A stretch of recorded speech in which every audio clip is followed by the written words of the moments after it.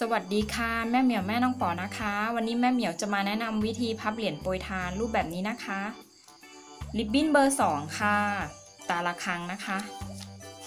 ตาละครังนะคะ ใช้สีขาวกับสีเหลืองนะคะม้วนละ 15 บาทนะคะ ใช้ริบบิ้น 4 เส้นนะคะ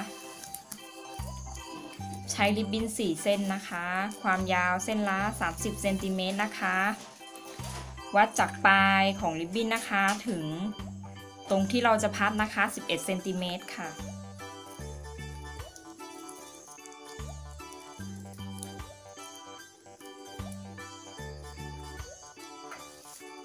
เสร็จแล้วนะคะ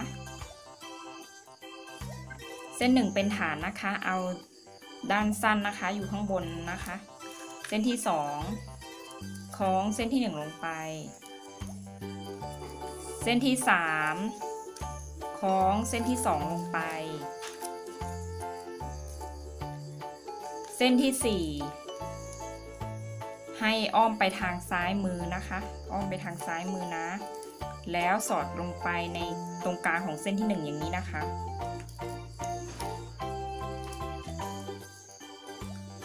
อย่างนี้นะคะ แล้วก็ดึงออกกว้างๆนะคะ แล้วก็รวบปลายหางของเส้นที่ 3 ใส่ลงไปนะคะ ดึงให้กระชับนะคะ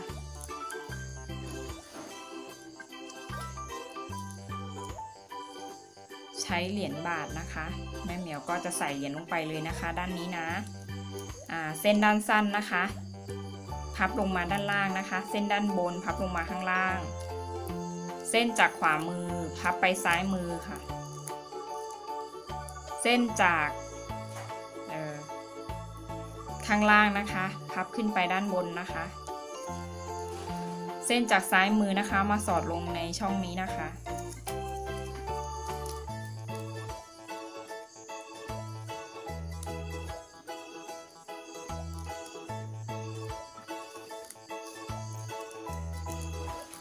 ลักษณะแบบนี้นะคะพลิกกลับด้านมานะคะเส้นสั้นนะคะ เส้นจากด้านบนพับลงมาด้านล่างนะคะ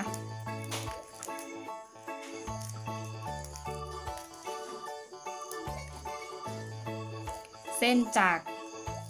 ขวามือพับไปซ้ายมือนะคะเนี่ยค่ะสอดลงไปซ้ายมืออย่างนี้นะ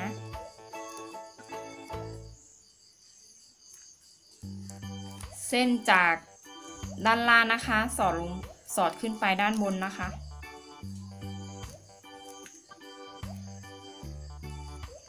ส้นจากซ้ายมือนะคะ สอดลงไปนะคะ สอดลงไปในช่องนี้นะคะ ช่องนี้นะ ช่องสีเหลืองนะคะ อย่างนี้นะคะ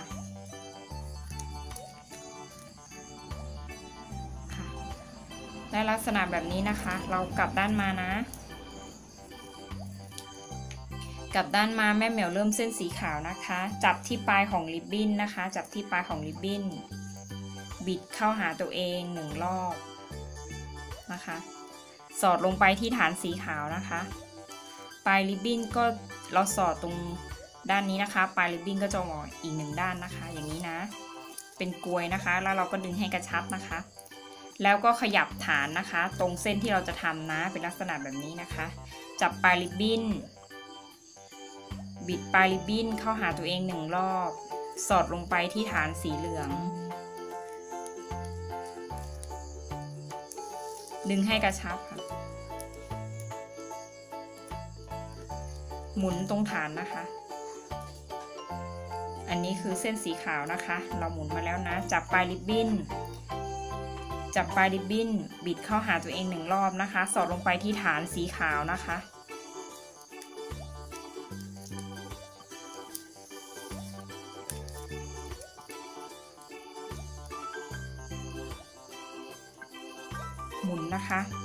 เส้นสุดท้ายนะคะ หมุนมาลักษณะแบบนี้นะคะ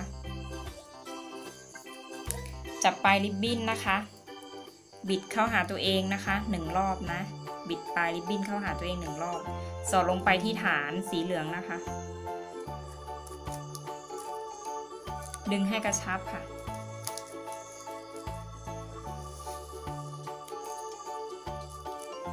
เราจะได้แล้วนะคะทั้งสี่ด้านนะำเส้นสีขาวก่อนนะคะ นี่นะคะตั้งเริ่มเส้นสีขาวนะคะ ให้หันอ่าหันฐานให้ตั้งขึ้นอย่างนี้นะคะ ให้เส้น จับริบบิ้นอ้อมมาทางด้านหน้านะคะ จับที่ปลายของริบบิ้น สอดลงไป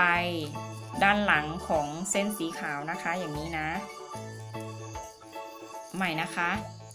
จับปลายริบบิ้นนะคะ อ้อมไปด้านหน้าหนึ่งรอบนะคะ แล้วก็จับปลายริบบิ้นนะคะ สอดลงไป ด้านหลังของเส้นสีขาวนะคะ แล้วดึงให้กระชับนะคะ ก็คือฐานกลวยเนี่ยก็จะมาครอบกลวยขุกกลวยอันแรกที่เราทำไว้นะคะ นี่นะคะ แล้วก็ดึงให้กระชับค่ะค่ะ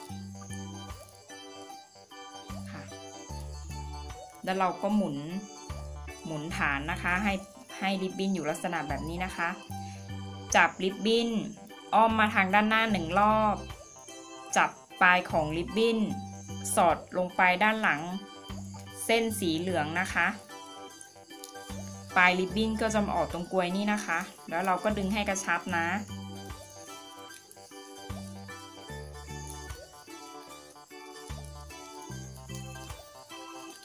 นี่นะคะ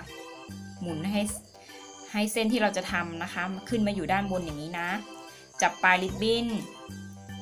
นะคะ พับมาด้านหน้าหนึ่งรอบ จับที่ปลายของริบบิ้น สอดลงไปด้านหลังของเส้นสีขาวนะคะ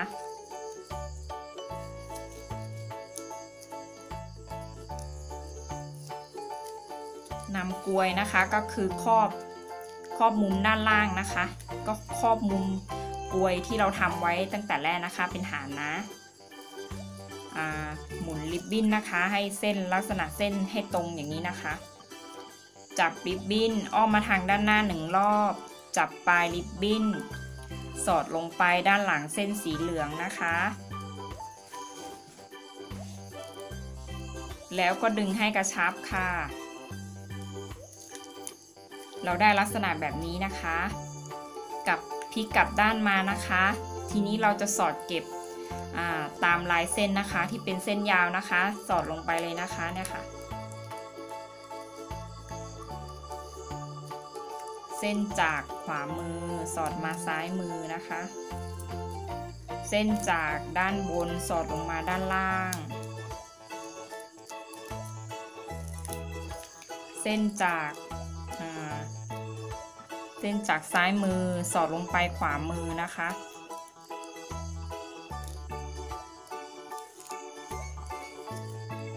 เสร็จแล้วนะคะ ตัดให้กระชับนะคะ